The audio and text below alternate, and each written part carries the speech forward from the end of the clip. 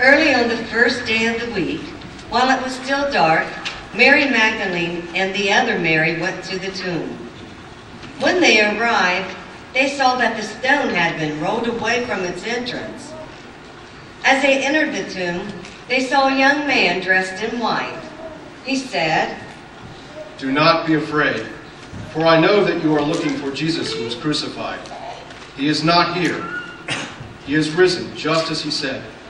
Come and see the place where he lay. Go quickly now and tell the disciples. The women hurried away from the tomb, afraid, yet filled with joy, and ran to tell the disciples. Hear of the Lord's promise. For the Lord himself will come down from heaven with a loud command, with the voice of the archangel, and with the trumpet call of God. And the dead in Christ will rise first.